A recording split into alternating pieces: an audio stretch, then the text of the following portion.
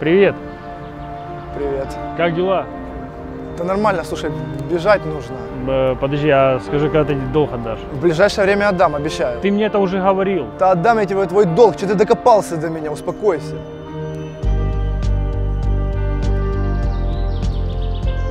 Алло, здорово. Слушай, тут одному Васе надо здоровье подправить.